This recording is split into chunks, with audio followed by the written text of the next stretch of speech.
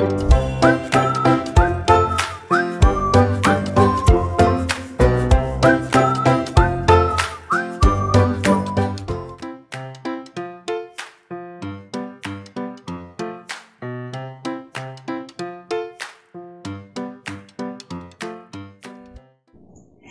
everyone. My name's Jenny from the Toronto Public Library. Welcome to Mini Makers at Home. Today's experiment is underwater fireworks.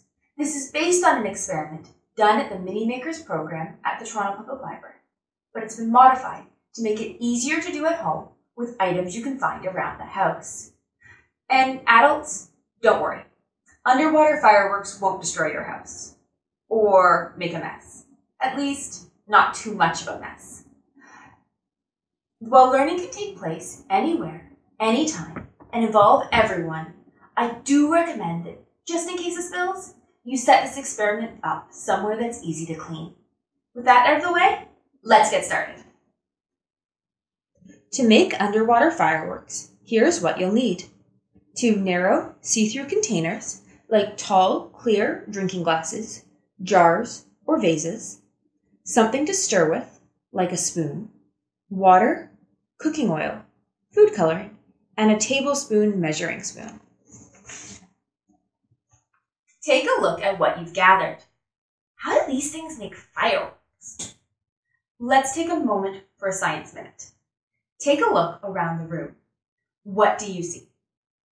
Everything you see is made of matter. The floor, the ceiling, the walls, your clothes. Literally everything is made of matter. In fact, anything that takes up space is made of matter. So air and water and even you are made of matter. But you get it. Everything's made of matter. What does that have to do with anything? Well, matter is made up of small building blocks called atoms, and the way these atoms are arranged determine the state that matter takes, the so-called states of matter. Do you know what the three most common states of matter are? If you answered solids, liquids, and gases, you'd be correct. Scientists think there are 20 other states of matter, but they don't know very much about them yet. Maybe someday you'll be the scientist that solves the riddle and figures out what those states of matter are. But what does all of this have to do with making fireworks? Let's get started and find out. And adults, let the kids do as much of the pouring, stirring, and other parts of the experiment as they can. It's a great way for them to learn, and it'll make the experiment more fun. Let's get started. Carefully fill one glass to about two thirds full with water.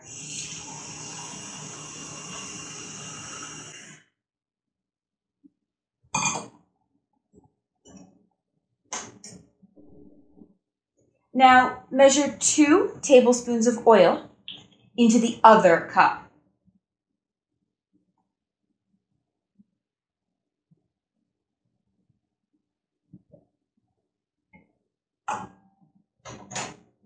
Next, we're going to add the food coloring.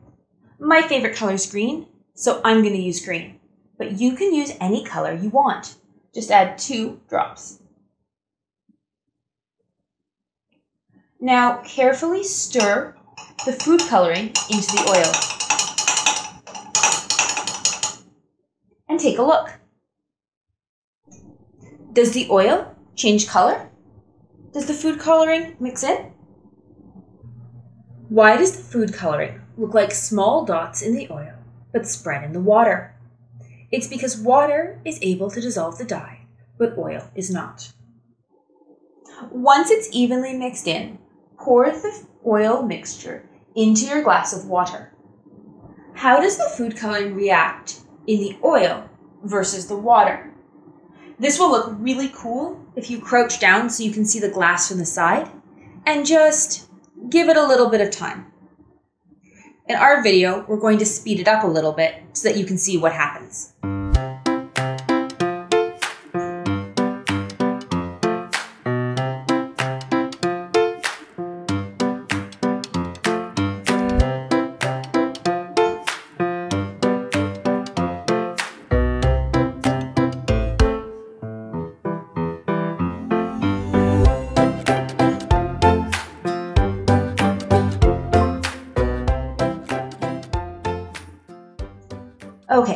Let's reset and try this experiment again. Carefully pour out your glass into the sink or empty it out somewhere appropriate. This time we're going to take one glass and carefully fill it two thirds full of water.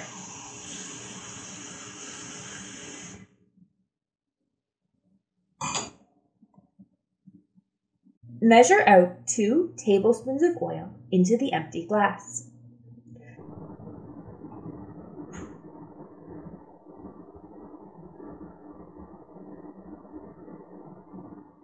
Last time, I added two drops of green food coloring.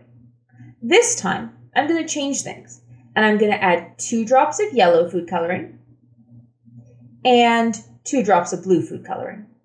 You can add whatever colors you want. Mix it together and then take a look at your mixture. Have the colors you added combined? Let's pour it into the water and watch what happens.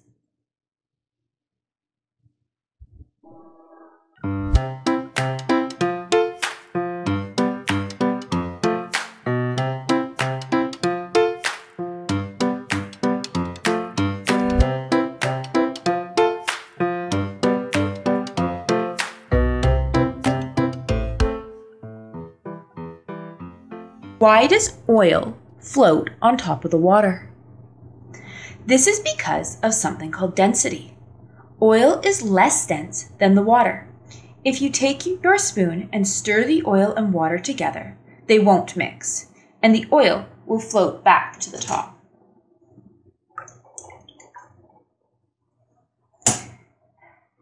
Food coloring is dissolved by water, so mixes with it and can't separate. But what is density? Density refers to the amount of space something takes up related to the amount of matter it has.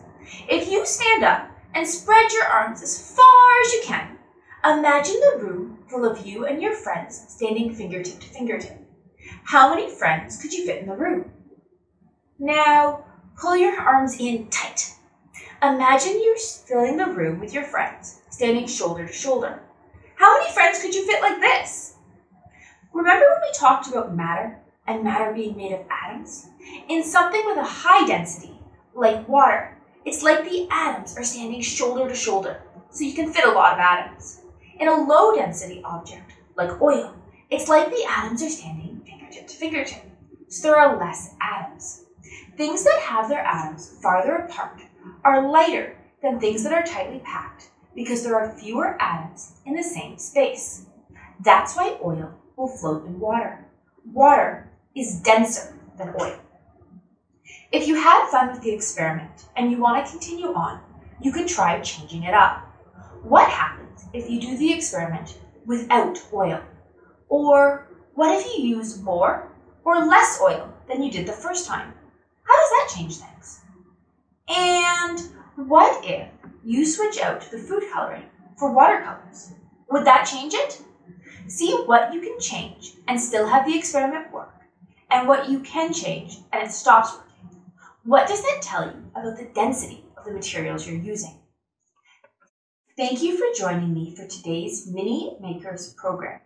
Check back soon for more Toronto Public Library Fun with STEM at Home programs. Bye bye!